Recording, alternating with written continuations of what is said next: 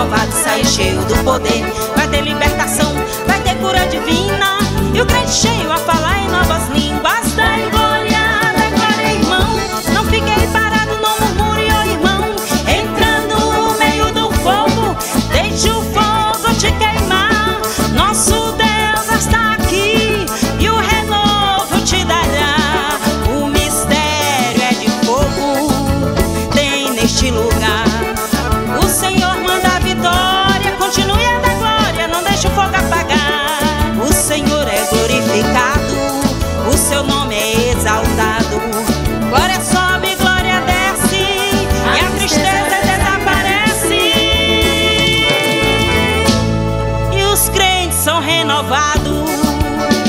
Eita glória a Deus, amados queridos do Senhor, bom dia. A paz do Senhor Jesus, meus irmãos, minhas irmãs. Deus abençoe a sua vida, Deus abençoe as suas orações, que o Senhor atenda aquilo que você tem colocado diante dele em oração, com saúde, com paz e felicidade. Meu pedido agora é para você se inscrever aqui, ó. Inscreva-se, compartilhe esta oração, mande para mais pessoas. Convide as pessoas para se inscreverem no canal e vamos juntos fazendo a obra de Deus. Hoje nós vamos falar sobre crente vencedor. Você quer ser um vencedor? Claro, você vai dizer sim, pastor, quero ser um vencedor. Pois bem, então, o principal requisito para quem quer ser vencedor é exatamente não desistir dos projetos de Deus para a sua vida. O Senhor Jesus, lá no capítulo 2 de 1 Pedro, ele diz: Vós sois geração eleita, povo santo, escolhido, comprado com o sangue de Jesus. Isso é algo muito valioso para nós crentes. Quando Jesus diz que nós somos geração eleita, povo santo, comprado, vocês são sacerdócio real, fazem parte do Rei Sacerdote Jesus Cristo. Só que muitas pessoas não tomam isso para si. Mas qual é o principal para ser um vencedor na vida? Vencedor é aquele que crê ser vencedor, mas é porque eu creio que eu sou? Não. É porque você crê que o seu Deus faz de você uma pessoa vencedora. Amém? Você está recebendo aí essa palavra? Olha o que está escrito em Mateus capítulo 21, versículo 21. Jesus respondeu. Quem foi que respondeu? Jesus. Ele disse: Eu asseguro que se vocês tiverem fé e não duvidarem, poderão fazer não somente o que foi feito à figueira, mas também dizer a este monte: Levanta-te atira-te no mar. E assim será feito. Olha a autoridade que Jesus Cristo está dando para os seus filhos e filhas, aqui nessa passagem bíblica de transportar os montes para os mares. É forte, né? E aqui em Lucas, Lucas 24, 38, preste atenção. Ele lhes disse: Por que vocês estão perturbados? E por que se levantam dúvidas no coração de vocês? Jesus estava dizendo: se vocês têm a mim, por que estão perturbados? Por que está se levantando dúvida no coração de vocês? Ele está dizendo para a gente não duvidar de tudo aquilo que Deus pode fazer por cada um de nós. No livro de Tiago, e esse Tiago aqui é irmão de Jesus Cristo, filho de Maria e de José, Tiago capítulo 1, versículo 6 diz: Peça, porém, com fé sem duvidar, pois aquele que duvida é semelhante à onda do mar levada e agitada pelo vento.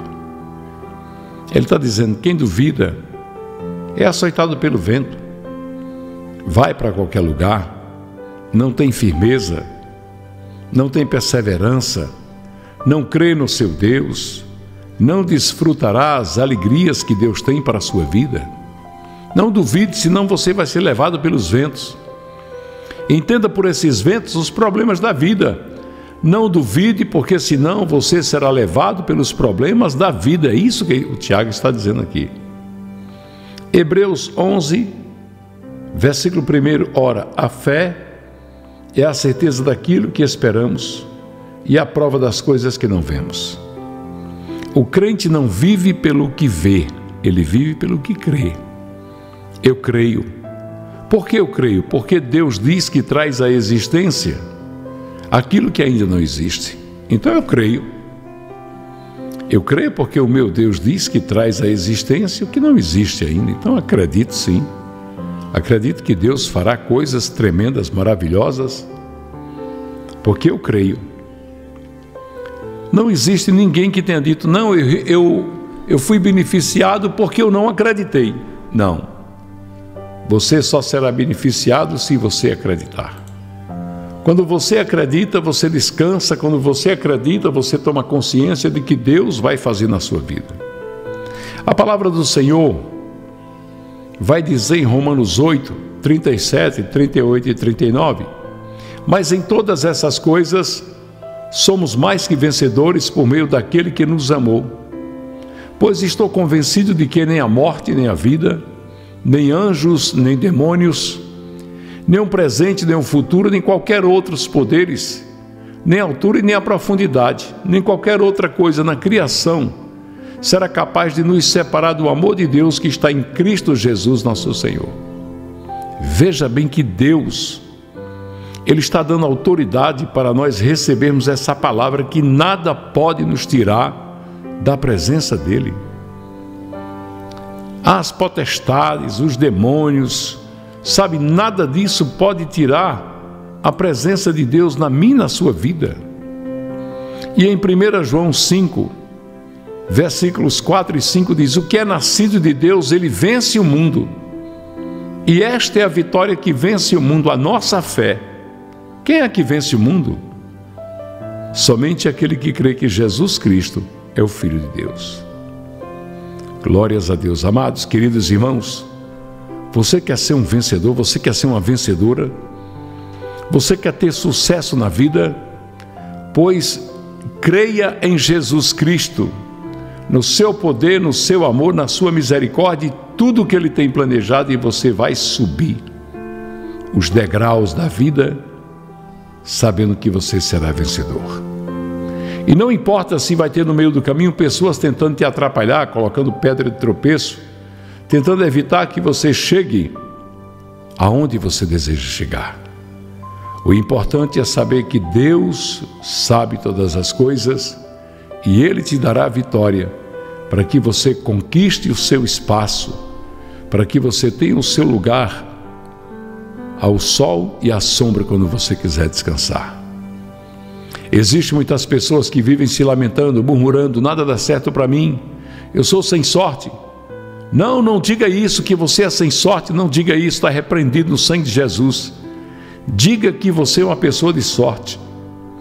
Diga que você é uma pessoa abençoada por Deus. Diga que você tem um chamado de Deus para ser mais do que vencedor. Aleluias. Nós não podemos, meus amados queridos, viver a nossa vida acreditando em fracassos.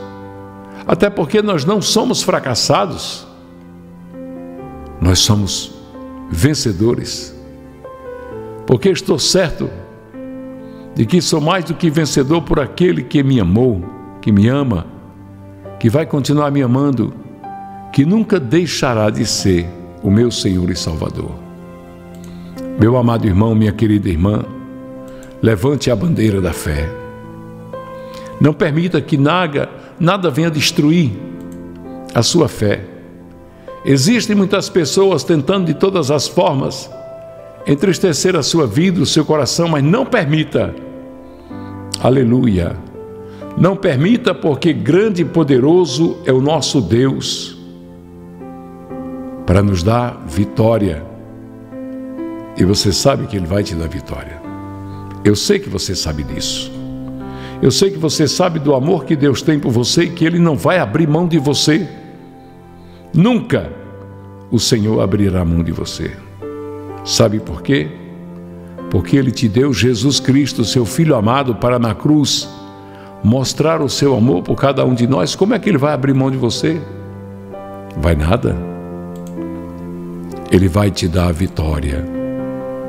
Em nome de Jesus. E nós vamos agora orar. Orarmos para agradecermos a Deus a felicidade que Ele traz às nossas vidas, quando Ele nos faz ver as maravilhas que só Ele faz. Chegou a hora da nossa oração. Ore comigo, Igreja Santa. Ore comigo dizendo assim: Santo Deus, Eterno Pai. Paizinho querido, Deus amado, nós estamos aqui na tua presença, Senhor pedindo Deus que o Senhor estenda a sua mão santa, maravilhosa, poderosa sobre nossas vidas. Pai, eu sei, Deus, que tem muitos irmãos e irmãs que estão cansados, Deus. Cansados de esperar, mas renova suas esperanças para que espere o teu tempo, Deus. Para que saibam que tu és o Deus de toda a terra. Paizinho querido, Deus amado, nós queremos louvar o teu santo nome e agradecer por tudo que o Senhor tem feito em nossas vidas.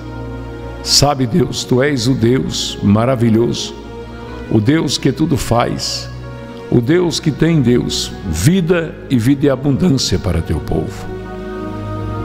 Oh, Paizinho querido, Deus amado, estende agora a tua mão santa sobre essas vidas e os abençoa, Deus, abençoando em todas as áreas da vida Tu sabes que teus filhos e filhas estão sofrendo, precisando da tua provisão, da tua providência.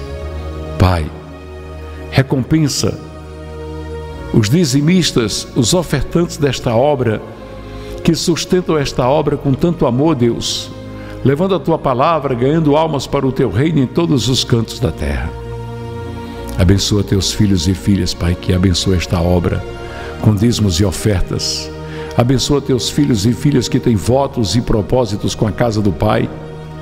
Todos, todos os irmãos e as irmãs, Pai, todos que desejam ajudar esta obra e que pede oportunidade. Abre a tua mão, Deus, e derrama das janelas dos céus bênçãos gloriosas e sem medidas sobre suas vidas. É isso, meu Pai, que nós pedimos e já agradecemos no santo e poderoso nome de Jesus Cristo. Amém, Pai. Amém, Deus. Amém. Glória a Deus. Beijo nas nossas ovelhinhas. Deus abençoe vocês, meus amados. Com a permissão de Jesus Cristo, nos encontramos daqui a pouco no culto do lar. Vamos fazer um culto lindo para Jesus. Compartilhe, inscreva-se aqui no canal, compartilhe Manda esta mensagem para pelo menos 10 pessoas. Ajude a fazer a obra de Deus. Deus abençoe a sua vida. Deus abençoe a sua casa. Deus realize o que deseja o seu coração. Fiquem na paz. Espírito Santo.